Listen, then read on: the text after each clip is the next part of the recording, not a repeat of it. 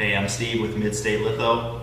This is the MBM AeroCut G2 and we're going to take you through this machine in the video. We're going to show you some features, how it works, and just let you get your eyes on a little bit. So watch this video and check it out.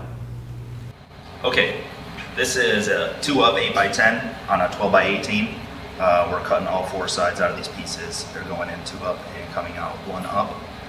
If you'll notice up here by my finger, we have a little black mark. This is an OMR mark that the machine looks at uh, to register its positioning to the image rather than the lead edge of the sheet. So I've got a little bit of bounce going on. This machine will compensate for it, so that comes out of the back end here is still going to line up real well. And this is what our finished piece is going to be looking like. Lined up real well.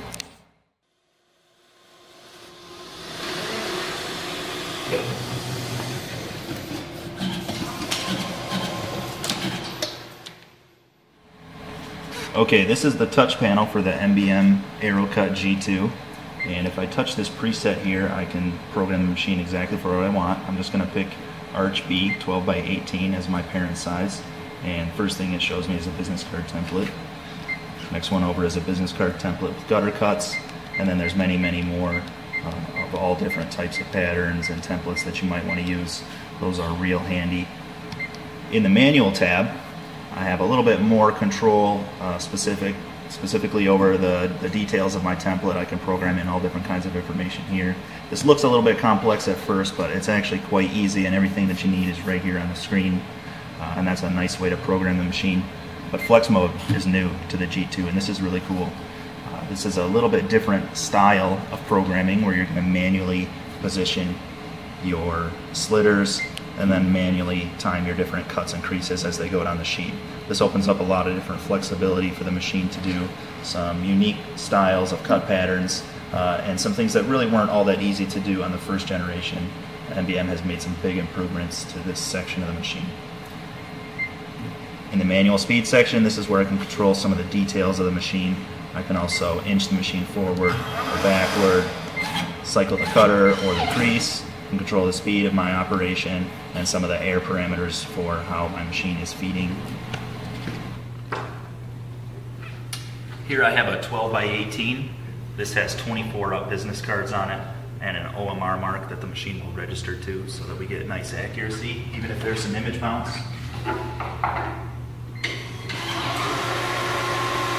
On this side of the machine we have a business card catch. We just lower that into position, it normally hangs up here.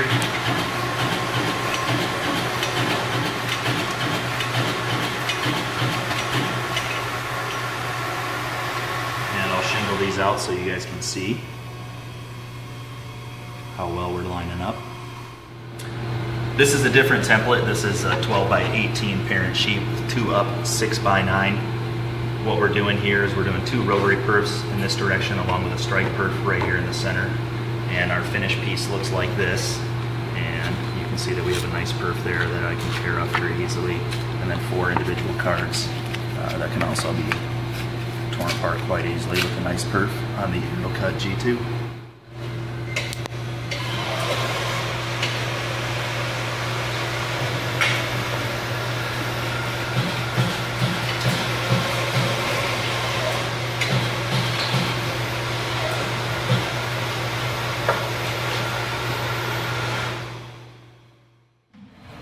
Okay, we're gonna switch die units in the machine. I'm gonna pull out the top driver here like that. And then this is the die right here. I'll pull on these handles and just lift this one straight up. And you can see that that is the perf die with the perfing on the one side. I'm taking that out and replacing it with just my straight creasing die. So just like the other one came out, I'm going to drop this one in position like so. And replace the driver unit. And it's ready to go. Inside the machine we have our perfing module right here. There are two perf wheels that I can reposition very easily on my ruler. I can set my depth right back here. There's multiple clicks on the handle there and these perf wheels can be swapped out for scoring wheels if you need to do some scoring in the direction of feed. After that, there are four slitting assemblies. Two of them are gutter cuts and two of them are straight slits. These position themselves automatically based on the template that you're picking in the front panel. After that, we have a guillotine section, which is going to do our cross cutting, and then a creasing section. And this creasing die can be swapped out for a perfing die, and we set the depth for our crease or our perf right here.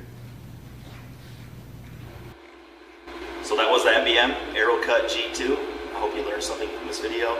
There's a lot more to learn online. Check out our website at midstatelitho.net. You can also follow us on Facebook and Twitter and keep posted because we're always putting up new stuff. Thank you for watching.